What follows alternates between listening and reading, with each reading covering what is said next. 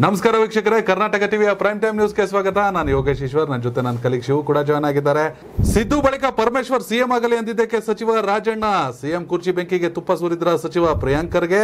ನಾನು ಮಂಡ್ಯ ಸೊಸೆ, ಯಾವತ್ತೂ ಮಂಡ್ಯ ಬಿಡಲ್ಲ, ಮೈತ್ರಿಗೆ ಸುಮಲತಾ ಶಾಕ್ ತೆಲಂಗಾಣದಲ್ಲಿ ಕಾಂಗ್ರೆಸ್ಗೆ ಬೆಂಬಲ ಘೋಷಿಸಿದ ಶರ್ಮಿಳಾ ಹರಿಣಗಳ ಬೇಟೆಗಾಗಿ ಕೋಲ್ಕತ್ತಾಗೆ ಆಗಮಿಸಿದ ಟೀಂ ಇಂಡಿಯಾ ಎಸ್ ಮೊದಲನೇ ಸುದ್ದಿ, ಬರೋಬ್ಬರಿ ನೂರ ಮೂವತ್ತೈದು ಸೀಟುಗಳನ್ನು ಪಡೆದು ಕಾಂಗ್ರೆಸ್ ಅಧಿಕಾರಕ್ಕೇರಿದೆ. ರಾಜ್ಯದಲ್ಲಿ ಸುಭದ್ರ ಸರ್ಕಾರ ಅಸ್ತಿತ್ವದಲ್ಲಿದೆ. ಆದರೆ ಚುನಾವಣೆಗೂ ಮುನ್ನ ಸಿದ್ದರಾಮಯ್ಯ ಮತ್ತು ಡಿ ಕೆ ಶಿವಕುಮಾರ್ ನಡುವೆ ನಡೆಯುತ್ತಿದ್ದ ಸಿಎಂ ಕುರ್ಚಿ ಯುದ್ಧ ಇದೀಗ ಮತ್ತೆ ಪಕ್ಷದೊಳಗೆ ಭುಗಿಲೆದ್ದಿದೆ.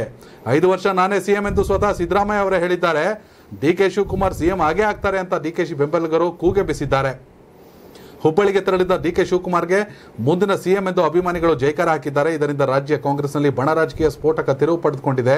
ಹಾಲಿ ಗೃಹ ಸಚಿವ ಡಾಕ್ಟರ್ ಜಿ ಪರಮೇಶ್ವರ್ ಅವರಿಗೆ ಸಿಎಂ ಆಗುವ ಅವಕಾಶವಿದೆ. ಸಿದ್ದರಾಮಯ್ಯ ಸಿಎಂ ಆಗಿ ಇರೋವರೆಗೂ ನಾವೆಲ್ಲ ಸಿದ್ದರಾಮಯ್ಯ ಪರ. ಸಿದ್ದರಾಮಯ್ಯ ಹೊರತುಪಡಿಸಿದ್ರೆ ಪರಮೇಶ್ವರ್ ಅವರೇ ಸಿಎಂ ಆಗಬೇಕು ಅಂತ ಬಯಸ್ತೇನೆ ಎಂದು ಸಹಕಾರ ಸಚಿವ ಕೆ ಎನ್ ರಾಜಣ್ಣ ಹೇಳಿದ್ದಾರೆ. ಸಿದ್ದರಾಮಯ್ಯ ಅವರು ಮುಖ್ಯಮಂತ್ರಿ ಗಾದಿಯಲ್ಲಿ ಇರುವವರೆಗೂ ನಾವೆಲ್ಲರೂ ಸಿದ್ದರಾಮಯ್ಯ ಪರ ಇರ್ತೀವಿ. ಅಂದರೆ ಪರಮೇಶ್ವರ್ ಆದಿಯಾಗಿ ನಾವೆಲ್ಲರೂ ಸಿದ್ದರಾಮಯ್ಯ ಪರವೇ ಇರ್ತೀವಿ. ಸಿದ್ದರಾಮಯ್ಯ ಹೊರತುಪಡಿಸಿದರೆ ಪರಮೇಶ್ವರ್ ಸಿ ಎಂ ಆಗಬೇಕು ಅಂತ ಬಯಸುತ್ತೇವೆ ಎಂದು ರಾಜಣ್ಣ ತುಮಕೂರಿನಲ್ಲಿ ಹೇಳಿದ್ದಾರೆ. ನಾನು ಜೀವಮಾನದಲ್ಲಿ ಏನೆಲ್ಲ ಹೇಳಿದ್ದೇನೆ ಅದು ಯಾವತ್ತೂ ಸುಳ್ಳಾಗಿಲ್ಲ. ನಾನು ಹೇಳಿದ ಯಾವ ವಿಚಾರಗಳು ಅಸತ್ಯವಾಗಿಲ್ಲ. ಪರಮೇಶ್ವರ್ ಸಿ ಎಂ ಆಗ್ತಾರೆ ಎಂಬುವ ವಿಚಾರವೂ ಸಹ ಅಸತ್ಯವಾಗಲ್ಲ. ಸಿದ್ದರಾಮಯ್ಯ ಅವರು ಯಾವಾಗ ಬಿಡ್ತಾರೆ? ಆವಾಗ ಪರಮೇಶ್ವರ್ ಮುಖ್ಯಮಂತ್ರಿ ಆಗ್ತಾರೆ ಅಂತ Rajanna. K N Rajanna. K N Rajanna ಅವರು. ಕೆ ಎನ್ ರಾಜಣ್ಣ ಪ್ರಭಾವಿ ನಾಯಕರು. ಹೌದು. ಎಲ್ಲರೂ ಎಸ್ ಸಿ ಎಸ್ ಸಿ ಮೀಸಲು ಕ್ಷೇತ್ರದಲ್ಲಿ ಸ್ಪರ್ಧೆ ಮಾಡ್ತಾರೆ. ಹೌದು. ಎಸ್ ಟಿ ಎಸ್ ಟಿ ಮೀಸಲು ಕ್ಷೇತ್ರದಲ್ಲಿ ಸ್ಪರ್ಧೆ ಮಾಡ್ತಾರೆ. ಹಾಗೆ ಮೀಸಲು ಕ್ಷೇತ್ರ ಬಿಟ್ಟು ಹೊರಗಡೆ ರಾಜಕಾರಣ ಮಾಡೋ ನೋಡಿದಾಗ ವ್ಯಕ್ತಿಗಳಲ್ಲಿ ರಾಜಣ್ಣ ವಾಲ್ಮೀಕಿ ಸಮುದಾಯಕ್ಕೆ ಸೇರಿದವರು ಮಧುಗಿರಿಲಿ ರಾಜಕಾರಣ ಮಾಡ್ತಾರೆ. ಹೌದು. ಹಾಗೆ ರಮೇಶ್ ಜಾರಕಿಹೊಳಿ ಕೂಡ ಎಸ್ ಟಿ ಬಿಟ್ಟು ಅವ್ರು ಜನರಲ್ ಗೆಲ್ತಾರೆ. ಹೌದು. ಹಾಗೆ ಜಾತಿದು ಸಮಸ್ಯೆಯಾಗಿ ಸಪ್ರೇಟ್ ಬಂದು ಚುನಾವಣೆ ಮಾಡಿದ್ದು ಕೊತ್ತೂರು ಮಂಜುನಾಥ್. ಈ ಮೂವರು ವಿಶೇಷ. ಹೌದು. ತಮ್ಮ ಜಾತಿಯವರು ಪ್ರಬಲ ಅಲ್ಲ ಅಂದ್ರೂ ಕೂಡ ಅಲ್ಲಿ ರಾಜಕಾರಣ ಮಾಡುವಂತ ಕೆಪಾಸಿಟಿ ಇರೋ ವ್ಯಕ್ತಿಗಳಲ್ಲಿ. K N Rajanna Ramesh Jarkiholi Kothur Manjunath. ಹಾಗೆ ಧೀರಜ್ ಮುನ್ರಾಜು ದೊಡ್ಡಬಳ್ಳಾಪುರ ಹೌದು. ರಾಜಣ್ಣ ಅವ್ರದ್ದು ಏನು ಸಮಸ್ಯೆ? ಏನು? ಸಿದ್ದರಾಮಯ್ಯ ನಂತರ ಪರಮೇಶ್ವರ್ ಮುಖ್ಯಮಂತ್ರಿ ಆಗಬೇಕು ಮುಖ್ಯಮಂತ್ರಿ ಆಗ್ತಾರೆ ಅನ್ನೋದ್ರ ಮೂಲಕ. ಡಿ ಕೆ ಶಿವಕುಮಾರ್ ನೀವೇನು ಮಾಡ್ಕೊಳಕ್ಕಾಗಲ್ಲ. ಯಾವುದೇ ಕಾರಣಕ್ಕೂ ಅವೆಲ್ಲ ಅಸಾಧ್ಯ ಅನ್ನೋ ಸಂದೇಶ ಕೂಡ ಕೊರಟವ್ರೆ ಓಕೆ ಏನ್ ಕತೆ ಇದು? ಸಾಧ್ಯವೇ ಅವ್ರಿಗೆ ರಾಜಣ್ಣಂಗೆ ಯಾಕೆ ಎಷ್ಟೊಂದು ಧೈರ್ಯ ಅಂದ್ರೆ ಹಳೆ ಮೈಸೂರು ಭಾಗ ಡಿ ಕೆ ಶಿ ಭದ್ರಕೋಟೆ ಎಲ್ಲ ಯಾಕೆ ಹಿಂಗ್ ಮಾತಾಡ್ತಾರೆ ಇವರು ಅಂತ. ದೇವೇಗೌಡ್ರನ್ನ ಎದುರಾಕಂಡೆ ಜಯಿಸ್ಕೊಂಡವ್ರೆ ದೇವೇಗೌಡರು ಕಳೆದ ವಿಧಾನಸಭೆ ಚುನಾವಣೆಯಲ್ಲಿ ಲೋಕಸಭೆ ಚುನಾವಣೆಯಲ್ಲಿ ತುಮಕೂರಲ್ಲಿ ಸೋಲಕ್ ಕಾರಣನೇ ರಾಜಣ್ಣ. ರಾಜಣ್ಣ ಅವತ್ತು ಬಿಜೆಪಿ ಓಟ್ ಹಾಕ್ಸಿದ್ರು. ಹೌದು. ಬಿಜೆಪಿ ಓಟ್ ಹಾಕ್ಸಿದ್ರು ರಾಜಣ್ಣ ಅವತ್ತು. ಬಸವರಾಜ್ ಗೆಲ್ಸಿದ್ರು ದೇವೇಗೌಡರನ್ನ ಸೋಲ್ಸಿದ್ರು. ಅದಾದ್ಮೇಲೆ ದೇವೇಗೌಡರು ಎಂ ಎಲ್ ಸಿ ಚುನಾವಣೆ ಆಗುತ್ತೆ. ರಾಜ್ಯ ನನ್ನ ನನ್ನ ಸೋಲಿಗೆ ಕಾರಣ ಆದವ್ರನ್ನ ಸೋಲ್ಸಿ ಅಂತ ಹೇಳ್ತಾರೆ. ಆದ್ರೆ ಅವತ್ತು ರಾಜೇಂದ್ರ ಗೆಲ್ತಾರೆ ರಾಜಣ್ಣನ ಮಗ ಎಂ ಎಲ್ ಸಿ ಎಲೆಕ್ಷನ್ ಮತ್ತೆ ಎಂ ಎಲ್ ಎಲೆಕ್ಷನ್ಗೂ ಬಂದ್ಬಿಟ್ಟು ರಾಜಣ್ಣನ ಸೋಲ್ಸಿ ಅಂತಾರೆ. ಜನ ರಾಜಣ್ಣನ ಗೆಲ್ಸಾರೆ ಅಂದ್ರೆ ಒಕ್ಕಲಿಗ ಸಮುದಾಯದ ದೊಡ್ಡ ನಾಯಕ ದೇವೇಗೌಡ್ರೆ ನನ್ನ ಏನು ಮಾಡ್ಕೊಳಕ್ ಆಗ್ಲಿಲ್ಲ ಇನ್ ಡಿ ಕೆ ಶಿವಕುಮಾರ್ ಕೈಲಿ ಏನಾಗತ್ತೆ ಅಂತ ರಾಜಣ್ಣಂದು. ಆ ದಾಟಿನೇ ಇದು ಅಷ್ಟೇ. ಅಲ್ಲ ಇತ್ತೀಚೆಗಷ್ಟೇ ಎಸ್ ಕೆಪಿಸಿಸಿ ಅಧ್ಯಕ್ಷರಾಗಿದ್ದವರು ಮುಖ್ಯಮಂತ್ರಿ ಆಗೋದು ಸಹಜ. ಹೌದು. ಅವತ್ತು ಪರಮೇಶ್ವರ್ ಅವರನ್ನ ಸೋಲಿಗೆ ಸಿದ್ದರಾಮಯ್ಯ ಮತ್ತೆ ರಾಜಣ್ಣನೂ ಕೂಡ ಕಾರಣ ಅಂತ ರಾಜಕೀಯ ವಲಯದಲ್ಲಿ ಚರ್ಚೆ ತುಮಕೂರಲ್ಲಿ ಎರಡ್ ಸಾವಿರದ ಹದಿಮೂರು ಪರಮೇಶ್ವರ್ ಏನಾರ ಗೆದ್ದಿದ್ರೆ ಎಂ ಎಲ್ ಎ ಆಗಿದ್ರೆ ಅವತ್ತು ಪರಮೇಶ್ವರ್ ಸಿಎಂ ಹೌದು. ಪರಮೇಶ್ವರ್ ಸೋಲಿಗೆ ಸಿದ್ದರಾಮಯ್ಯ ಕಾರಣ ರಾಜಣ್ಣ ಕಾರಣ ಅಂತಾನೆ ಕುಮಾರಸ್ವಾಮಿ ಯಾವಾಗ ಆರೋಪ ಮಾಡ್ತಾರಲ್ಲ. ಚರ್ಚೆನೂ ಇರುವಂತ ವಿಷಯ.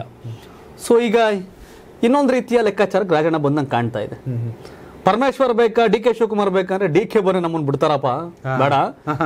ಈ ಸಾಫ್ಟ್ ಅಂಡ್ ಪರಮೇಶ್ವರ ಇರ್ಲಿ ಅಂತ ಬಂದಂಗೆ ಕಾಣ್ತಿದೆ ಅಲ್ಲಿ. ಬಟ್ ಇದು ಅವರೇನು ಡಿ ಕೆ ಶಿವಕುಮಾರ್ ಕಡೆಯವರೇನೋ ಸುಮ್ಮನೆ ಕೂತ್ಕೊಂಡಿಲ್ಲ ಕೈ ಕಟ್ಕೊಂಡು. ಹೌದು. ನೀವ್ ಹಂಗಾರ ನಾವ್ ಹಿಂಗೆ ಅಂತ ಅವರು ರೆಡಿ ಅವರೇ ಸೇರು ಸಭಾ ಸೇರು. ಈ ರಾಜಣ್ಣ ಮತ್ತೆ ಪರಮೇಶ್ವರ್ ಒಂಥರ ಕೆಮಿಸ್ಟ್ರಿ ಚೆನ್ನಾಗಿದೆ ಅನ್ಸುತ್ತೆ. ರಾಜಣ್ಣ ಅವರು ಮೂರ್ ಜನ ಡಿ ಸಿ ಎಂ ಬೇಕು ಅಂದಾಗ ಪರಮೇಶ್ವರ ಹೌದು ತಪ್ಪೇನು ಅಂತ ಹೇಳ್ತಾರೆ. ಈಗ ಪರಮೇಶ್ವರ್ ಅವರು ಸಿಎಂ ಇದೆಲ್ಲ ನೋಡ್ತಾ ಇದ್ರೆ ಪ್ರೀ ಪ್ಲಾನ್ಡ್ ತರ ಕಾಣ್ತಿದೆ. ಅಲ್ವಾ? ಎಂ ಬಿ ಪಾಟೀಲ್ ಮಾತಾಡ್ತಾರೆ ಹೌದು. ರಾಜಣ್ಣ ಮಾತಾಡ್ತಾರೆ ಸತೀಶ್ ಜಾರಕಿಹೊಳಿ ಸೈಲೆಂಟ್ ಆಗಿ ಏನೋ ಮಾಡ್ತಾರೆ. ಇವೆಲ್ಲವನ್ನು ನೋಡಿದಾಗ ಡಿ ಕೆ ಶಿವಕುಮಾರ್ ವಿರುದ್ಧ ಕಾಂಗ್ರೆಸ್ ಅಲ್ಲಿ ಒಂದು ರೀತಿಯ ಷಡ್ಯಂತ್ರ ನಡೀತಾ ಇದೆ ಅಂತ. ಹೌದು. ಷಡ್ಯಂತ್ರ ಹೇಗೆ ಅಂತಂದ್ರೆ ನಿಮ್ಗೆ ಗೊತ್ತಿಲ್ಲ ನೀವು ಬಹಳ ಅಬ್ಸರ್ವ್ ಮಾಡಿದಿರಿ ಅಬ್ಸರ್ವ್ ಮಾಡಿದಿರಿ ಜನ ಅಬ್ಸರ್ವ್ ಮಾಡವ್ರೆ ಡಿ ಕೆ ಶಿವಕುಮಾರ್ ಜೈಲ್ಗೆ ಹೋಗಿ ಬಂದ್ಮೇಲೆ ಕೆಪಿಸಿಸಿ ಅಧ್ಯಕ್ಷ ಆದ್ಮೇಲೆ ಕಾಂಗ್ರೆಸ್ಗೆ ಹೊಸ ರೀತಿಯ ಕಾಯಕಲ್ಪ ಕೊಟ್ಟವ್ರೆ. ಹೌದು. ಡಿ ಕೆ ಹಣ ಲೂಟಿ ಮಾಡೋರೆ ಆದಾಯ ಮೀರಿ ದಾಸ್ತಿ ಗಳಿಸವ್ರೆ ಜೈಲಿಗೆ ಹೋಗವ್ರೆ ಆರೋಪಗಳು ಅದು ಕೋರ್ಟ್ ನೋಡ್ಕೊಳತ್ತದನ್ನ ಹೌದು. ಅದನ್ನ ಮೀರಿ ಕಾಂಗ್ರೆಸ್ ಏನಾರ ಶಕ್ತಿ ತುಂಬಿದ್ರೆ ಕಂಪೇರ್ ಟು ಪರಮೇಶ್ವರ್ ಬೇರೆ ಬೇರೆ ರಾಜ್ಯಾಧ್ಯಕ್ಷ ಕೆ ಪಿ ಸಿ ಸಿ ಆದವ್ರನ್ನ ನೋಡಿದ್ರೆ ಡಿ ಕೆ ಶಿವಕುಮಾರ್ ಗಂಡೆದೆಯ ಮಂಚ. ಹೌದು. ಹೌದು. ಕಾಂಗ್ರೆಸ್ಗೆ ಹೊಸ ಚೈತನ್ಯ ತುಂಬಿದ್ದು. ಅಮಿತ್ ಶಾ ನರೇಂದ್ರ ಮೋದಿ ಅವರೇ ಅಷ್ಟೊಂದು ಕಾಟ ಕೊಟ್ಟು ತಲೆ ಕೆಡಿಸ್ಕೊಳ್ಳದೆ ಅದನ್ನ ಮೀರಿ ಕಾಂಗ್ರೆಸ್ ಪಕ್ಷವನ್ನು ಕಟ್ಟವ್ರೆ. ಸಹಜವಾಗಿ ಅಲ್ಲ ಈಗ ಒಂದು ಕೊಡಬೇಕಾಗಿತ್ತು ಕೊಡ್ತಾರೆ. ಕೊಡ್ತಾರೆ. ಆದ್ರೆ ಬರ್ದಿಟ್ಕೊಳ್ಳಿ ನಾನು ಹೇಳಿದ್ ಯಾವ್ದು ಸುಳ್ಳಾಗಿಲ್ಲ ಅಸತ್ಯವಾಗಿಲ್ಲ. ಹೌದು. ನಾನು ಹೇಳಿದ್ ಯಾವ್ದು ಸುಳ್ಳಾಗಿಲ್ಲ. ರಾಜಕೀಯವಾಗಿ. ರಾಜಕೀಯವಾಗಿ ಪರಮೇಶ್ವರ್ ಸಿಎಂ ಆಗ್ತಾರೆ ಸಿದ್ದರಾಮಯ್ಯ ನಂತರ. ಅಂದ್ರೆ ಡಿ ಕೆ ಶಿವಕುಮಾರ್ ಆಗಲ್ಲ ಅಂತ. ರಾಜಣ್ಣವ್ರ ಮನಸ್ಸಲ್ಲಿದೆ ದೇವೇಗೌಡ ಏನು ಮಾಡಕ್ಕಾಗಲ್ಲ ಡಿ ಕೆ ಕೈಲಿ ಏನ್ ಮಾಡ್ತಾರೆ ನಮ್ಮನ್ನ ಅಂತ. ಡಿ ಕೆ ಹಾ. ಉಪಮುಖ್ಯಮಂತ್ರಿ ಅನ್ನೋದಕ್ಕಿಂತ ಹೆಚ್ಚಾಗಿ ಕೆ ಪಿ ಸಿ ಸಿ ಅಧ್ಯಕ್ಷರಾಗಿ ಯಾರು ಕೂಡ ಇಂಥ ವಿಚಾರಗಳನ್ನ ಮಾತಾಡಬಾರ್ದು ಅಂತ D K Shivakumar D K. Shivakumar ನಗರದಲ್ಲಿ ಇಕ್ಬಾಲ್ ಹುಸೇನ್ ಅವರು ಹೇಳ್ತಾರೆ ಕವಡೆ ಕಾಸನ್ ಕಿಮ್ಮತ್ತಿಲ್ಲ. ಹಾ. ಡಿ ಕೆ ಶಿವಕುಮಾರ್ ಮಾತಕ್ಕೆ ಹೌದು. ಡಿ ಕೆ ನಾನು ಕೆ ಪಿ ವಾರ್ನಿಂಗ್ ಕೊಡ್ತಾರೋ ಕೇಳ್ತಿಲ್ಲ ಇವರೆಲ್ಲ ಮಾತಾಡ್ತಾನೆ ಅವ್ರು. ಮಾತಾಡ್ತಾವ್ರೆ. ಇಕ್ಬಾಲ್ ಹುಸೇನ್ ಅವ್ರು ಎಲ್ಲಿ ಹಿಂದೆ ಮುಂದೆ ಅವರು ಜೊತೆಲಿ ಇರ್ತಾರೆ ಅವರೇ ಮಾತಾಡ್ತಾರೆ ಒಂದೂವರೆ ವರ್ಷ ಆಗ್ತಿದ್ದಂಗೆ ಡಿ ಕೆ ಶಿವಕುಮಾರ್ ಒಂದಂತೂ ಸತ್ಯ ಆಗುತ್ತೆ ಯೋಗಿ ಅವರೇ. ಸತ್ಯ ಆಗ್ಬೋದು. ಹ್ಮ್. ಈ ಫೈವ್ ಸ್ಟೇಟ್ ಎಲೆಕ್ಷನ್ ಅಲ್ಲಿ ಡಿ ಕೆ ಶಿವಕುಮಾರ್ ಪ್ರಭಾವ ಇದೆ. ಹೌದು. ಪ್ರಭಾವ ಅಂದ್ರೆ ಸ್ಟಾರ್ ಶಿವನ್ ಶಿವ್ ಅನ್ಬೇಡಿ ಪ್ರಿಯಾಂಕಾ ಗಾಂಧಿ ರಾಹುಲ್ ಗಾಂಧಿ ಸೋನಿಯಾ ಗಾಂಧಿ ಕೈ ಲಾಗ್ದಿರೋದನ್ನ ಡಿ ಕೆ ಶಿವಕುಮಾರ್ ಮಾಡ್ತಾರೆ. ಹೌದು. ಹಣ ಬಲವು? ಈ ನೋಡಿ ಸ್ಟಾರ್ ಕ್ಯಾಂಪೇನ್ ಇರ್ತಾರೆ ಕರೆದು ಕರೆದು ಪ್ರಚಾರ ಮಾಡಿಸ್ತಾವ್ರು ಇವ್ರನ್ನ ಡಿ ಕೆ ಶಿವಕುಮಾರ್ನ. ತೆಲಂಗಾಣದಲ್ಲಿ ಮಧ್ಯಪ್ರದೇಶದಲ್ಲಿ ರಾಜಸ್ಥಾನದಲ್ಲಿ ಯಾರನ್ನ ಡಿ ಕೆ ಅವರು. ಹಾಗೆ ಆಗ ಒಂದು ಪಾಪ್ಯುಲಾರಿಟಿ ಬಿಲ್ಡ್ ಆಗ್ತದೆ. ಸಹಜವಾಗಿ ಈಗಿರೋ ಒಂದು ಟ್ರೆಂಡು ಸರ್ವೆ ಗಿರ್ವೆ ಅವೆಲ್ಲ ನೋಡಿದಾಗ ಮಧ್ಯಪ್ರದೇಶ ರಾಜಸ್ಥಾನ ಛತ್ತೀಸ್ಗಢ ತೆಲಂಗಾಣದಲ್ಲಿ ಕಾಂಗ್ರೆಸ್ ಬಂದರೆ ಅದರ credit maximum goes D K Shivakumar. ಹೌದು. ಲೋಕಸಭೆಯಲ್ಲಿ ಎರ- ಎರಡು ಟರ್ಮ್ ಆಯ್ತು ಮೋದಿದು. ಮೂರನೇ ಟರ್ಮ್ ಬರ್ತಾರೆ ಅಂತ ಬಿಜೆಪಿ ಅವರ ಭರವಸೆ. ಐ ಎನ್ ಡಿ ಎ ಮೈತ್ರಿಕೂಟ ನಾನೂರು ಗೆಲ್ಲಿಸಬೇಕು ಅನ್ನೋದು ಡಿ ಕೆ ಶಪಥ. ಹೌದು. ಸ್ಟ್ರಾಟಜಿ ಮಾಡ್ಕೊಂಡು ಯಾವ ಮಾಜಿ ಶಾಸಕರನ್ನ ಆಪರೇಷನ್ ಮಾಡಬೇಕು ಬಿಜೆಪಿಯಿಂದ ಬೇರೆ ಪಾರ್ಟಿಯಿಂದ ಈ ತರ ದೇಶಾದ್ಯಂತ ಆಪರೇಷನ್ಗೆ ಡಿ ಕೆ ಕೈ ಹಾಕವ್ರೆ. ಪುಕ್ಸಟೆ ಮಾಡ್ತಾರ ದುಡ್ಡು ಕೊಡ್ತಾರೇನೋ ರಾಜಕಾರಣದಲ್ಲೇನು ಬಿ ರಾಜಕಾರಣದಲ್ಲೇನೋ ಬಿಜೆಪಿ ಅವರೇನು ಜೈಲ್ಗೆ ಹೋದವ್ರನ್ನ ಪಾರ್ಟಿ ಅವ್ರ ಪಾರ್ಟಿ ಅಪೋಸಿಷನ್ ಪಾರ್ಟಿಲಿದ್ದಾಗ ಕಳ್ಳ ಅವ್ರ ಪಾರ್ಟಿಗೆ ಸೇರ್ಕೊಂಡ ಕ್ಲಿಂಗ್ ಕೃಷ್ಣಪ್ಪ. ಬಿಜೆಪಿ ಆಗಲ್ವೇ ಹೌದು. ಸೊ ಹಾಗಾಗಿ ಅದು ಸೆಕೆಂಡ್ರಿ ಬಟ್ ಆಫ್ಟರ್ ಲೋಕಸಭೆ ಏನಾರ ಐ ಎನ್ ಡಿ ಏನಾರ ಅವಕಾಶ ಆದ್ರೆ ಡಿ ಕೆ ಶಿವಕುಮಾರ್ ದೊಡ್ಡ ಪೋಸ್ಟ್ ತಗೋಬಹುದು ಅಮಿತ್ ಶಾ ಟೈಪ್ ಗೃಹ ಸಚಿವನೇ ಆಗ್ಬೋದು. ಆಗ್ಬೋದು ಐ ಎನ್ ಡಿ ಹಾಗಾಗಿ ಇವೆಲ್ಲಾನು ತಲೆ ಕೆಡ್ಸ್ಕೊಂಡ್ರೆ ಡಿ ಕೆ ಮುನ್ನುಗ್ತಾ ಹೋಗ್ತಾ ಇರೋದು. ಮೇಲ್ಗಡೆ ಏನಾರ ಅವಕಾಶ ಆದ್ರೆ ಆದರೆ ಆದ್ರೆ. ಕರ್ನಾಟಕದಲ್ಲಿ ಬೇಕಾದ್ರೆ ಡಿ ಕೆ ತನ್ನ ಶಿಷ್ಯನ್ ಸಿಎಂ ಮಾಡೋ ಕೆಪಾಸಿಟಿ ಡಿ ಕೆಗಿದೆ ಹೌದು. ಕೇಂದ್ರದಲ್ಲಿ ಮೋದಿ ಇರೋದಕ್ಕೆ ತಾನೇ ಸರ್ಕಾರ ಬಿದ್ರೆ ಬಿದೋಗುತ್ತೆ ಅವು ಇವು ಅಂತ ಕತೆ ಆಟ ಆಡ್ತಿರೋದು. ಕೇಂದ್ರದಲ್ಲಿ ಎನ್ ಡಿ ಎ ಮೈತ್ರಿಕೂಟ ಅಧಿಕಾರಕ್ಕೆ ಬಂದರೆ ಸೆಂಟ್ರಲ್ ಡಿ ಕೆ ಶಿವಕುಮಾರ್ ಗೃಹ ಸಚಿವ ಇತ್ತಲ ಇತ್ಲ ಕಡೆಯಲ್ಲಿ ಯಾರು ಬೇಕಾದ್ರೂ ಸಿಎಂ ಹೌದು. ಅಲ್ವಾ? ಈಗ ಆಪರೇಷನ್ ಮಾಡಕ್ಕೆ ಕೇಂದ್ರದಲ್ಲಿ ಬಿಜೆಪಿ ಅವತ್ತಿಗೆ ಅಂತ ಲೆಕ್ಕಾಚಾರ. ಸೊ ಹಾಗಾಗಿ ಇದು ಮುಂದಾಲೋಚನೆ ದೂರಾಲೋಚನೆ ಏನಾರ ಅನ್ಕೊಳ್ಳಿ. ರಾಜಕಾರಣದಲ್ಲಿ ಎಲ್ಲವೂ ಸಾಧ್ಯ ಇಲ್ಲಿ. But D K Shivakumar neglect ಮಾಡಂಗಿಲ್ಲ. ಇವತ್ತು ಯಾರ್ಯಾರು ಮಾತಾಡ್ತಾರೋ ಎಲ್ರಿಗೂ ಸೆಟ್ಲ್ಮೆಂಟ್ ಮಾಡಬಹುದು ನಾವು. ಲಾಸ್ಟ್ ಎಲೆಕ್ಷನ್ ಅಲ್ಲಿ ಬಿಜೆಪಿ ಅವರು ಸೆಟ್ಲ್ಮೆಂಟ್ ಮಾಡೋ ಡಿ ಕೆ ಶಿವಕುಮಾರ್ ಹೌದು. ನೆಕ್ಸ್ಟ್ ಲೋಕಸಭೆ ಆದ್ಮೇಲೆ ಕಾಂಗ್ರೆಸ್ ಅವರಿಗೆ ಒಂದು ಸೆಟ್ಲ್ಮೆಂಟ್ ಇಟ್ಕೋತಾರೆ. ಇಟ್ಕೋತಾರೆ. ಮುಂದಕ್ಕೆ ಹೋಗೋಣ? ಎಸ್ ಮುಂದಿನ ಸುದ್ದಿ. ಮತ್ತೊಂದೆಡೆ ಸ್ವತಃ ಎಐಸಿಸಿ ಅಧ್ಯಕ್ಷ ಮಲ್ಲಿಕಾರ್ಜುನ್ ಖರ್ಗೆ ಅವರ ಪುತ್ರ ಪ್ರಿಯಾಂಕ್ ಖರ್ಗೆ ಅವರು ಕೂಡ ಹೇಳಿಕೆಯನ್ನು ನೀಡಿದ್ದು ಒಂದು ವೇಳೆ ಹೈಕಮಾಂಡ್ ನೀನೇ ಸಿಎಂ ಆಗು ಅಂದ್ರೆ ನಾನು ಸಿದ್ಧ ಎಂದಿದ್ದಾರೆ. ಇದರೊಂದಿಗೆ ಸಿಎಂ ಡಿಸಿಎಂ ಬಣ ನಡುವೆ ಹೊತ್ತುಕೊಂಡಿರುವ ಬೆಂಕಿಗೆ ಪ್ರಿಯಾಂಕ್ ಖರ್ಗೆ ತುಪ್ಪ ಸುರಿದಿದ್ದಾರೆ. ಸಿದ್ದರಾಮಯ್ಯ ಹಾಗೂ ಡಿಕೆ ಶಿವಕುಮಾರ್ ಬಣ ನಡುವೆ ಅಧಿಕಾರ ಹಂಚಿಕೆ ಬಗ್ಗೆ ಮಾತಿನ ಸಮರ ತೀವ್ರ ಸ್ವರೂಪ ಪಡೆದುಕೊಂಡಿದೆ. ಇದು ಮತ್ತೊಂದು ಹೆಜ್ಜೆ ಮುಂದೆ ಹೋಗುವ ಮುನ್ಸೂಚನೆ ಸಿಗುತ್ತಿದ್ದಂತೆ ಎಐಸಿಸಿ ನಾಯಕರಾದ ಕೆ ಸಿ ವೇಣುಗೋಪಾಲ್ ಹಾಗೂ ಕರ್ನಾಟಕ ಕಾಂಗ್ರೆಸ್ ಉಸ್ತುವಾರಿ ರಣದೀಪ್ ಸಿಂಗ್ ಸುರ್ಜೇವಾಲಾ. ಅದಾಗಲೇ ಬೆಂಗಳೂರಿಗೆ ದೌಡಾಯಿಸಿ ಸಿದ್ದರಾಮಯ್ಯ ಮತ್ತು ಡಿ ಕೆ ಶಿವಕುಮಾರ್ ಜೊತೆ ಮಹತ್ವ ಸಭೆ ಮಾಡಿದ್ರು.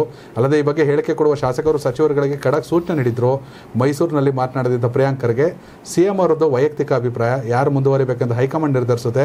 ಒಂದು ವೇಳೆ ಹೈಕಮಾಂಡ್ ನೀನೇ ಆಗು ಅಂತ ಹೇಳಿದ್ರೆ ನಾನು ಸಿದ್ಧ. ಅಧಿಕಾರ ಹಂಚಿಕೆ ಬಗ್ಗೆ ದೆಹಲಿಯಲ್ಲಿ ನಾಲ್ವರು ಮಾತನಾಡಿದ್ದಾರೆ. ಅವ್ರಿಗೆ ಮಾತ್ರ ಈ ವಿಚಾರದ ಬಗ್ಗೆ ಸ್ಪಷ್ಟತೆ ಇದೆ. ಎಲ್ಲರಿಗೂ ಅಭಿಪ್ರಾಯ ಹೇಳಲು ಸ್ವಾತಂತ್ರ್ಯವಿದೆ. ಇದರಲ್ಲಿ ತಪ್ಪಿಲ್ಲ ಅಂತವ್ರೆ ಹೈಕಮಾಂಡ್ ಅಂದರೆ ಅಪ್ಪಾಜಿ ಅವ್ರು ಹೇಳಿದ್ರೆ. ಅವರಪ್ಪ. ಅಪ್ಪಾಜಿ ಅವ್ರು ಹೇಳಿದ್ರೆ ನಾನೇ ಬೇಕಾದ್ರೆ ಸಿಎಂ ಆಗ್ತದೆ ಅಂತ ನೀವೇನು ಅನ್ಕೊಂಡಿದ್ದೀರಿ. ಮತ್ತೆ ಅವರ ಹೈಕಮಾಂಡ್ ಅಂದ್ರೆ ಎ ಸಿ ಸಿ ಅಧ್ಯಕ್ಷರು. ಅಧ್ಯಕ್ಷರು.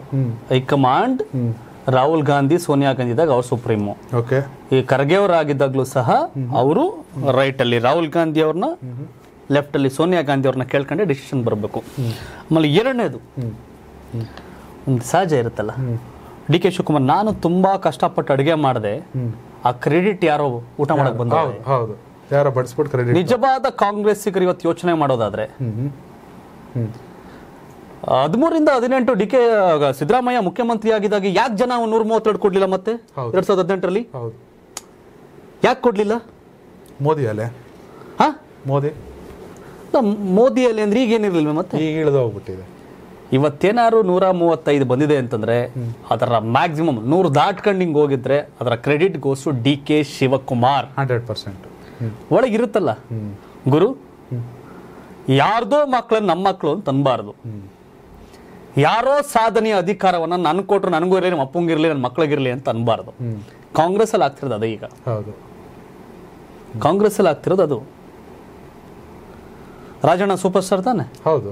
ಯಾಕೆ ತುಮಕೂರು ಸಿಟಿನ ಬಿಜೆಪಿ ಗೆಲ್ತು ಕಾಂಗ್ರೆಸ್ ಯಾಕೆ ಗೆಲ್ಲಿಲ್ಲ?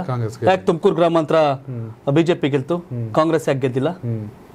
ಚಿಕ್ಕನಾಯಕನಹಳ್ಳಿ ಯಾಕೆ ಜೆ ಡಿ ಎಸ್ ಗೆಲ್ತು ಕಾಂಗ್ರೆಸ್ ಗೆಲ್ಲಿಲ್ಲ? ಕಾಂಗ್ರೆಸ್ ಗೆಲ್ಲಿಲ್ಲ. ತುರುವೇಕೆರೆ ಯಾಕೆ ಜೆ ಡಿ ಎಸ್ ಗೆಲ್ತು? ಕಾಂಗ್ರೆಸ್ ಗೆಲ್ಲಿಲ್ಲ? ಹೌದು. ಜಯಚಂದ್ರ ಸೀನಿಯರ್ ಲೀಡರ್ ಶಿರಾ ಗೆದ್ಕೊಂಡ್ರು ಹೌದು. ಪರಮೇಶ್ವರ್ ಕೊರಟಗೆರೆ ಗೆದ್ಕೊಂಡ್ರು ಇವ್ರು ಇವ್ರು ಗೆದ್ಕೊಂಡ್ರು ಏನು ಕಾಂಟ್ರಿಬ್ಯೂಷನ್ ಏನಿಲ್ಲ ಏನೂ ಇಲ್ಲ. ಆಕೆ ಆಚೆ ಈಚೆ ಒಂದು ಕ್ಷೇತ್ರವನ್ನು ಗೆಲ್ಲಿಸದವರು ಇವತ್ತು ಕ್ಲೈಮ್ ಮಾಡ್ತಾರೆ. ಅವರು ಇವರು ಅಂತ. ಡಿ ಕೆನ ಐದು ಹತ್ತು ಹದಿನೈದು ಇಪ್ಪತ್ತು ಗೆಲ್ಸ್ಕೊ ಬಂದಿಲ್ವಾ? ಹೌದು. ಮನೆ ಅಂತಂದ್ರೆ ಎಲ್ಲಿಂತಂದ್ರು ದುಡ್ಡು ಹಾಕ್ಬಿಟ್ಟು ಚುನಾವಣೆ ಮಾಡಿಲ್ವಾ? ಹೌದು. ಸಾಕಾಗಿ. ಡಿ ಕೆ ಶಿವಕುಮಾರ್ ಎಲ್ಲವನ್ನು ಸೂಕ್ಷ್ಮವಾಗಿ ಗಮನಿಸುತ್ತಿದ್ದಾರೆ. ಸೈಲೆಂಟ್ ಆಗಿ ಅವರೇ. ಯಾರ್ದೋ ಪಾರ್ಟಿಯವ್ರು ಸೆಟಲ್ಮೆಂಟ್ ಮಾಡೋ ಕೆಪಾಸಿಟಿ ಇರೋ ಡಿ ಕೆ ಶಿವಕುಮಾರ್ಗೆ. ಅವ್ರದೇ ಪಾರ್ಟಿಯವ್ರು ಸೆಟಲ್ಮೆಂಟ್ ಮಾಡೋ ಕೆಪಾಸಿಟಿ ಇಲ್ವಾ? ಇದೆ. ಮಾಡ್ತಾರೆ. ಮಾಡ್ತಾರೆ. ಮುಂದಕ್ಕೆ ಕಾಲ ಉತ್ತರ ಕೊಡುತ್ತೆ. ಹಾ.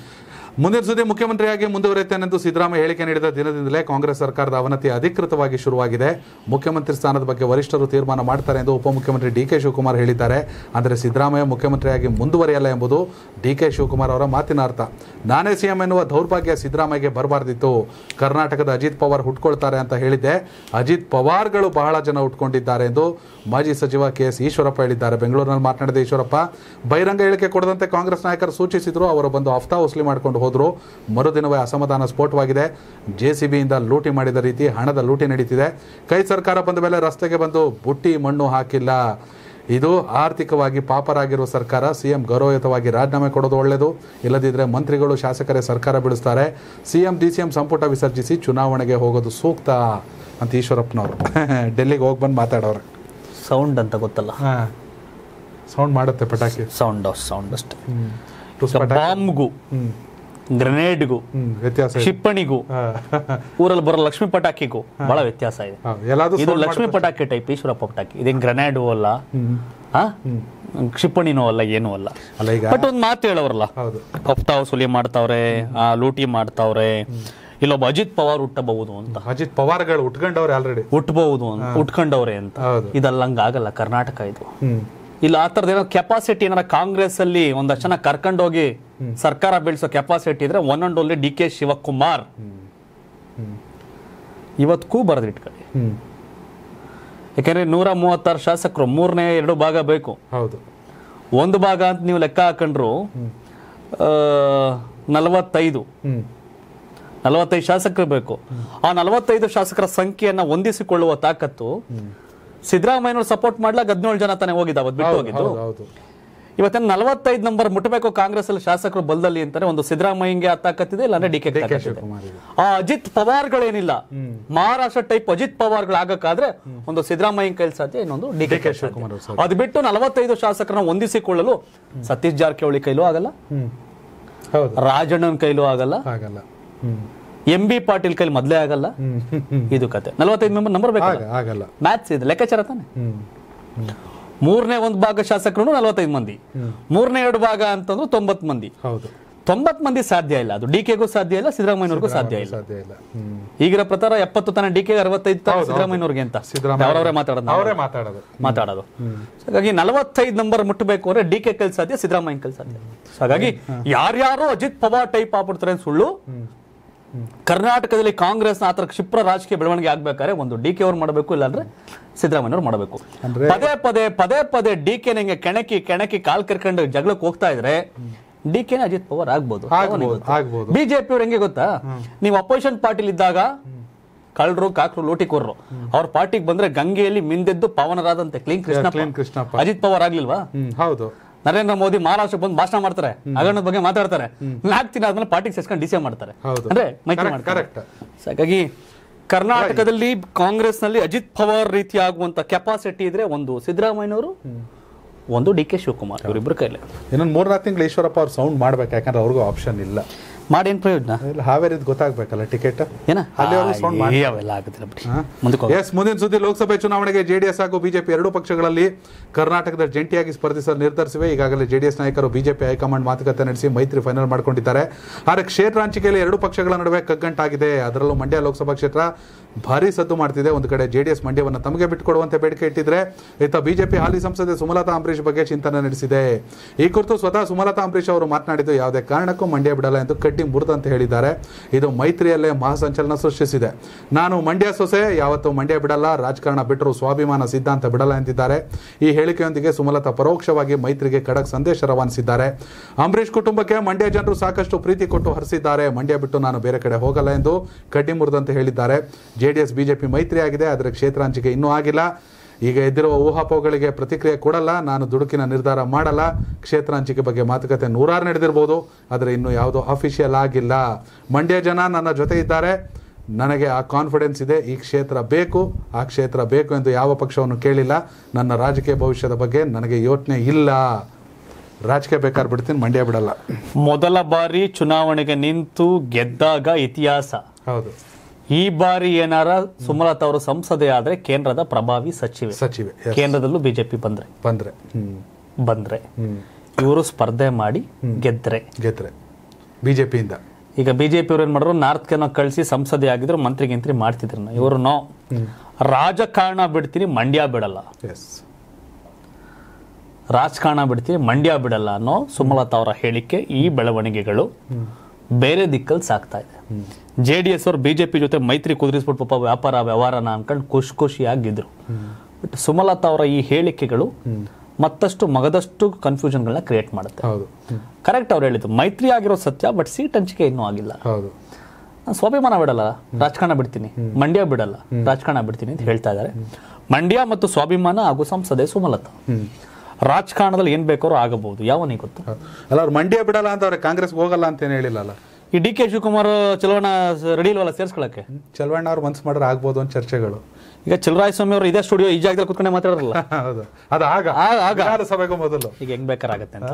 ಏನ್ ಬೇಕಾದ್ರೆ ಆಗ್ಬೋದು? ಸುಮಲತಾ ಅವರ ಸೇರ್ಪಡೆಗೆ ಡಿ ಕೆ ಶಿವಕುಮಾರ್ ಅವರು ವಿರೋಧ ಇದೆ. ಸುಮಲತಾ ಅವರ ಸೇರ್ಪಡೆಗೆ ಸ್ವಾಮಿ ಅವರ ವಿರೋಧ ಇದೆ. ಯಾಕಂದ್ರೆ ಇವರು ಡಾಮಿನೇಟ್ ಮಾಡಿ ನಮ್ಮನ್ನು ಡಾಮಿನೇಟ್ ಮಾಡಿ ಮುಂದಕ್ಕೆ ಹೋಗ್ಬಿಡ್ತಾರೆ ಅಂತ. ನಿಮ್ಗೊಂದು ನೆನಪಿರಲಿ. ಎಸ್ ಎಂ ಕೃಷ್ಣ ನಂತರ ಕಾಂಗ್ರೆಸ್ನಲ್ಲಿ ಒಕ್ಕಲಿಗ ಲೀಡರ್ ಅನ್ನೋ ಫೈಟ್ ವಿಚಾರ ಬಂದಾಗ ಅದು ಅಂಬರೀಷ್ ಕಂಡ್ರೆ ಆಗ್ತಿರ್ಲಿಲ್ಲ ಡಿ ಕೆ ಶಿವಕುಮಾರ್ ಹೌದು. ಅಂಬರೀಷ್ ಹೇಳ್ಕೊಂಡಿರೋ ಸಿದ್ದರಾಮಯ್ಯ ಹದಿಮೂರಲ್ಲಿ ಸಿಎಂ ಆಗಿ ನಾನು ಸಿಎಂ ಆಗ್ತೀನಿ ನೆಕ್ಸ್ಟ್ ನನಗೂ ಇದಿದೆ ಅಂತ. ಸೊ ಅಂಬರೀಷ್ ಅವ್ರು ಕಂಡ್ರೆ ಡಿ ಕೆ ಶಿವಕುಮಾರ್ ಅವ್ರಿಗೆ ಆಗಲ್ಲ. ಹೌದು. ಮತ್ತೊಬ್ಬ ಒಕ್ಕಲಿಗ ನಾಯಕ ಬೆಳೆಯಕ್ಕೆ ಅವರೆಲ್ಲ ಇಷ್ಟಪಡ್ತಾರೆ ಹೌದು. ಕರೆಕ್ಟ್. ಸೊ ಹಾಗಾಗಿ ಅದು ಕಾರಣ. ಇನ್ ಚಿಲರಾಯ ಸ್ವಾಮಿ ಅವ್ರಿಗೆ ಇಡೀ ಮಂಡ್ಯ ನಂದು. ನಾನು ಬಿಟ್ರೆ ಇನ್ ಯಾರು ಇಲ್ಲಿ ಪಾಳೆಗಾರ ಇರಕ್ಕಿಲ್ಲ. ಕಾಂಗ್ರೆಸ್ ಅಲ್ಲಿ ನಂದೇ ಅನ್ನೋದು ಇದು ಅವ್ರದ್ದು. ಹೌದು. ಸುಮಲತಾ ಅವ್ರು ಬಂದ್ರೆ ಡೈರೆಕ್ಟ್ ಆಗಿ ಹೋಗಲ್ಲ ಈಗಲೇ ನೋಡಿ ಅಮಿತ್ ಶಾ ಮೋದಿಗೆ ಡೈರೆಕ್ಟ್ ಅಪಾಯಿಂಟ್ಮೆಂಟ್ ಸಿಗ್ತದೆ ಇವ್ರಿಗೆ. ಇತ್ಲ ಕಡೆ ಕಟೀಲ್ಗೂ ಸಿಗೋದಿಲ್ಲ. ಸಿಗಲ್ಲ. ಸುಮಲತಾ ಅವ್ರು ಸಿಗುತ್ತೆ. ಸಿಗುತ್ತೆ. ಹೌದು. ಸೊ ಹಾಗಾಗಿ ಕರ್ಕಂಡ್ರೆ ನಮ್ಮ ಪಾರ್ಟಿ ಇವರಲ್ಲಿ ನೇರವಾಗಿ ಬೆಳೆದ್ಬಿಟ್ರೆ ಕಷ್ಟ ಅನ್ನೋದು ಚಲುವರಾಯ ಸ್ವಾಮಿ ಅವ್ರಿಗೆ ಭಯ. ಹೌದು. ಡಿ ಕೆ ಅವ್ರಿಗೆ ಹಳೆಯ ಪ್ರತಿಷ್ಠೆಗಳ ಪ್ರಶ್ನೆ. ಹಾಗಾಗಿ ಅವರ ಕಾಂಗ್ರೆಸ್ ಕರೀತಿಲ್ಲ. ಕರ್ಕೊಳಕ್ ಅವರೇ ಅಡ್ಡಿ ಹೌದು. ಇನ್ನು ಬಿಜೆಪಿ ವಿಚಾರಕ್ಕೆ ಬಂದಾಗ ಈಗಲೂ ಮಂಡ್ಯ ಸೀಟ್ ಸೀಟ್ ಹಂಚಿಕೆ ಬಗ್ಗೆ ಏನೋ ಫೈನಲ್ ಆಗಿಲ್ಲ. ಹೌದು ಹಾಗಿಲ್ಲ. ಹಾಗೇ ಇಲ್ಲ ಇನ್ನು ಮಾತುಕತೆನೇ ಆಗಿಲ್ಲ. ಮಂಡ್ಯ ಬಿಡಲ್ಲ ಅಂತ ಹೇಳವ್ರೆ ಸುದ್ದಿ ಇದೆ. ಈಗ ಜೆ ಡಿ ಎಸ್ ಅವ್ರಿಗೇನು ಇವರು ಮೈತ್ರಿ ಆಗದೆ ಇಂಡಿಪೆಂಡೆಂಟ್ ಆಗಿ ಹೋಗ್ಬಿಟ್ಟು ಏನೋ ನಾಲ್ಕೈದು ಜನ ಗೆಲ್ತಿರ್ಲಿಲ್ಲ. ಹೌದು. ಒಂದ್ ಗೆದ್ದಿರೋ ಆಸನೂ ಈ ಸರ್ ಸಮಸ್ಯೆ ಇಲ್ಲ ಇದೆ. ಸೊ ಹಾಗಾಗಿ ಹೆಂಗೋ ಒಂದೋ ಎರಡೋ. ಕಳೆದ ಬಾರಿ ಜೆ ಡಿ ಎಸ್ ಕಾಂಗ್ರೆಸ್ ಒಂದಾಗ್ದಾಗ್ಲೇ ಸುಮಲತಾ ಅವ್ರು ಗೆದ್ದಿಲ್ವೇ? ಹೌದು. ಹೌದು. ಈಗ ಬಿಜೆಪಿ ದುರ್ಬಲವಾಗಿದೆ ಜೆ ಡಿ ಎಸ್ ಪ್ರಬಲವಾಗಿದೆ ಕೊಡಿ ಅಂತ ಕೇಳ್ತಾವ್ರಲ್ಲ? ಹೌದು. ಕಾಂಗ್ರೆಸ್ ಎರಡು ಪ್ರಬಲ ಪಕ್ಷಗಳು ಡೆಪಾಸಿಟ್ ಬರ್ದಿರೋ ಬಿಜೆಪಿನ ಚುನಾವಣೆಯಲ್ಲಿ ಗೆಲ್ಲಿಲ್ವಾ? ಬೆಂಬಲಿತ ಅಭ್ಯರ್ಥಿ ಸುಮಲತಾ? ಸೊ ಆ ಕಾರಣಕ್ಕೋಸ್ಕರ ಸುಮಲತಾ ಅವ್ರ ಕ್ಲೈಮೇಶ ರಾಜಕಾರಣ ಬಿಡ್ತೀನಿ ಮಂಡ್ಯ ಬಿಡಲ್ಲ. ಉತ್ತರಕ್ಕೂ ಹೋಗಲ್ಲ ದಕ್ಷಿಣಕ್ಕೂ ಹೋಗಲ್ಲ. ನಾನು ಮಂಡ್ಯ ಸೋಸೆ. ಹೌದು. ನಾನ್ ಬಿಡಲ್ಲ. ಒಳ್ಳೆ ಸ್ಟೇಟ್ಮೆಂಟ್ ಆಕ್ಚುಲಿ ಆ ಒಳ್ಳೆ ಸ್ಟೇಟ್ಮೆಂಟ್ ಇನ್ಮೇಲ್ ಪಿಕ್ಚರ್ ಇರೋದು ಮೈತ್ರಿದು. ಹೌದು. ಸೊ ಹಾಗಾಗಿ ಮಂಡ್ಯದಲ್ಲಿ ಈಗ ಶುರುವಾಗಿದೆ. ಹೌದು. ಸೊ ಏನೇ ಆದ್ರೆ ರಾಜಕೀಯ ಯಾವನ್ ಗೊತ್ತು ಶೆಟ್ಟರ್ ಕಾಂಗ್ರೆಸ್ಗೆ ಹೋಗಿ ನಿಂತು ಸೋಲ್ತಾರೆ ಅಂತ? ಹೌದು.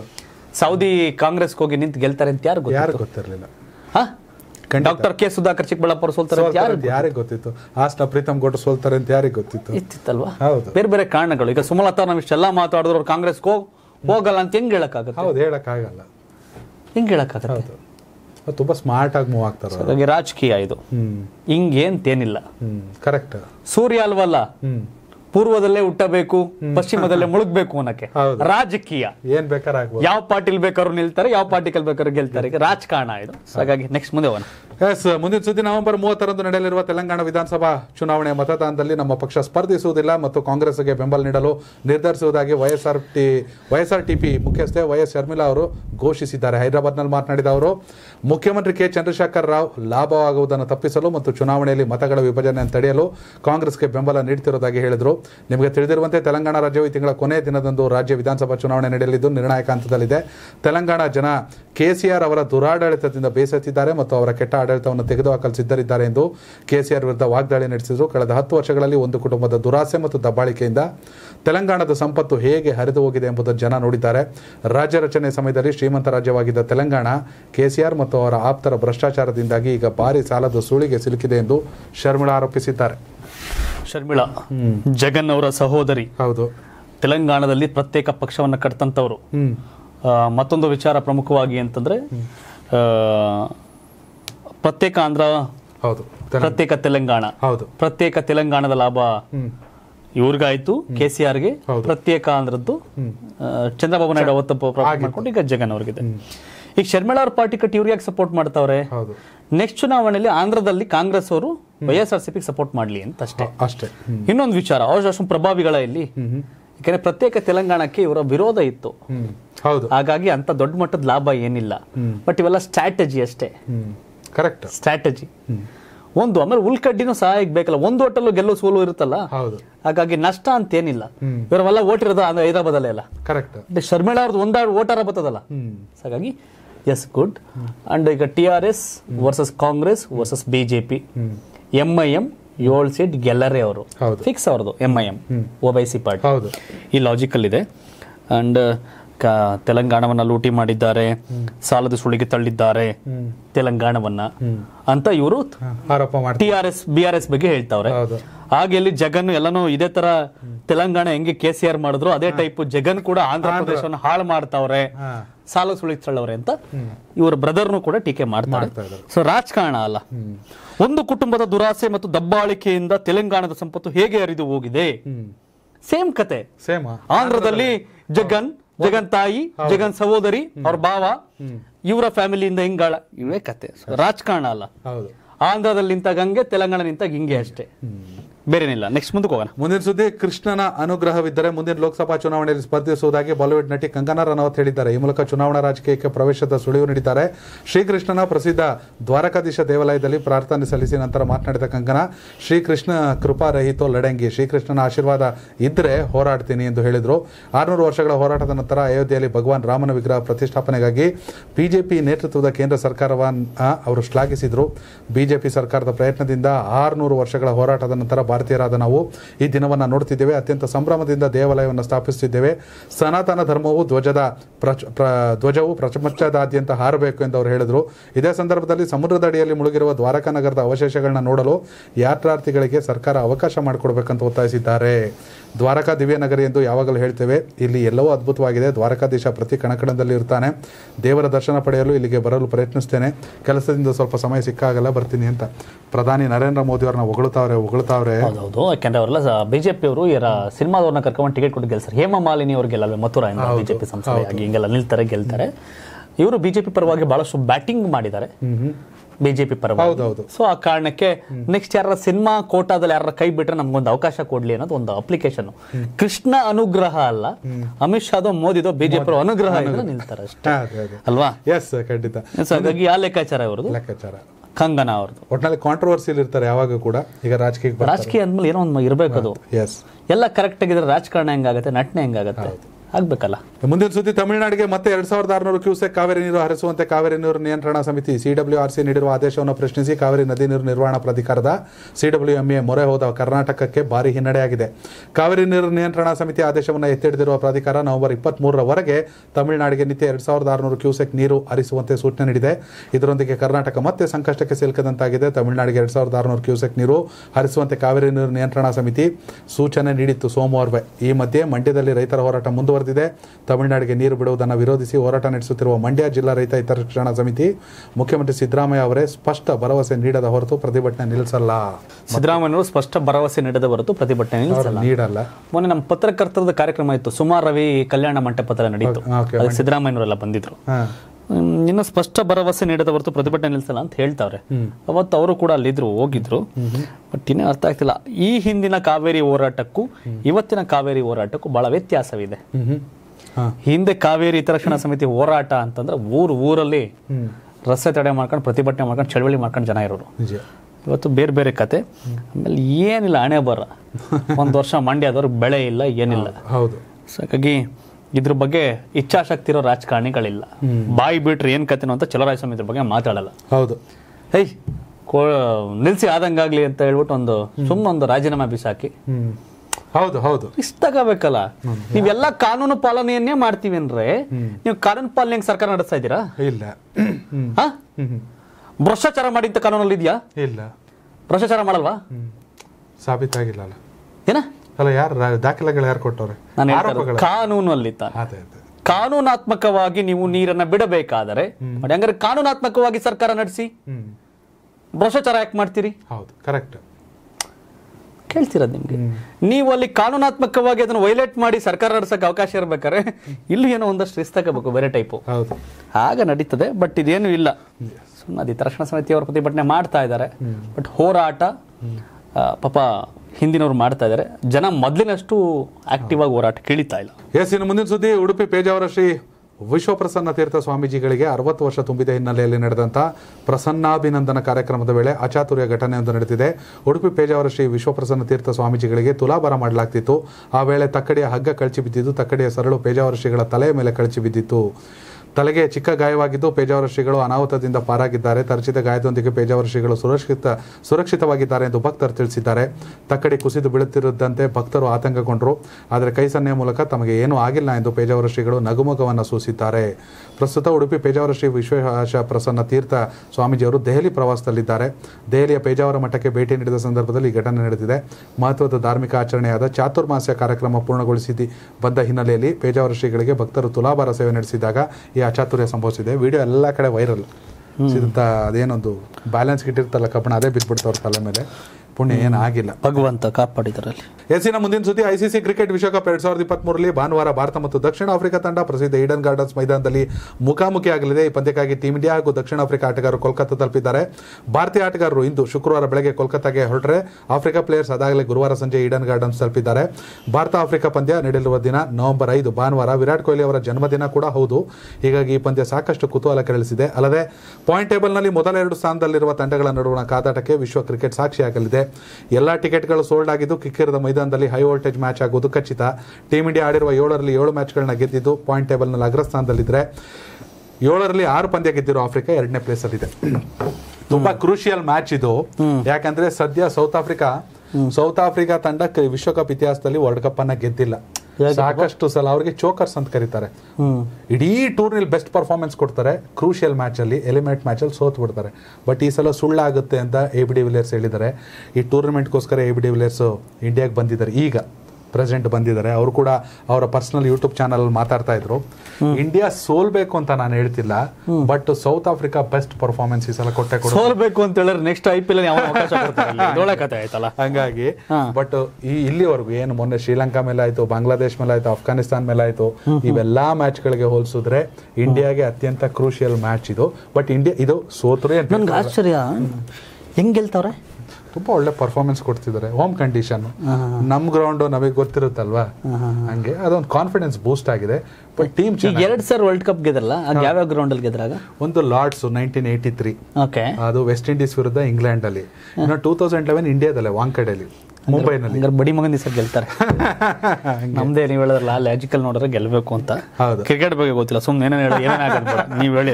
ಎಸ್ ಇನ್ನು ಮುಂದಿನ ಸುದ್ದಿ ಕೂಡ ಕ್ರಿಕೆಟ್ಗೆ ಸಂಬಂಧಪಟ್ಟಿದ್ದು. ಗಾಯದಿಂದಾಗಿ ಪ್ರಸ್ತುತ ಭಾರತ ವಿಶ್ವಕಪ್ ತಂಡದಿಂದ ಹೊರಗುಳಿದಿದ್ದ ಟೀಮ್ ಇಂಡಿಯಾದ wicket keeper batter Rishabh Pant ಮತ್ತು ಆಲ್ರೌಂಡರ್ ಅಕ್ಷರ್ ಪಟೇಲ್ ಇವತ್ತು ಮುಂಜಾನೆ ಅಂದ್ರೆ ಶುಕ್ರವಾರ ಬೆಳಬೆಳಗ್ಗೆನೆ ತಿರುಪತಿ ತಿಮ್ಮಪ್ಪನ ದರ್ಶನ ಪಡೆದಿದ್ದಾರೆ.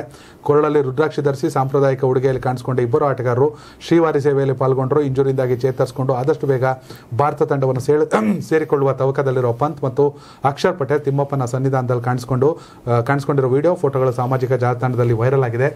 ಭಾರತ ತಂಡ ವಿಶ್ವಕಪ್ ಅನ್ನ ಗೆಲ್ಲಲಿ ಅಂತ ರಿಷಬ್ ಪಂತ್ ಮತ್ತು ಅಕ್ಷರ್ ಪಟೇಲ್ ಇಬ್ಬರು ಕೂಡ ಪ್ರಾರ್ಥನೆಯನ್ನು ಸಲ್ಲಿಸಿದ್ದಾರೆ.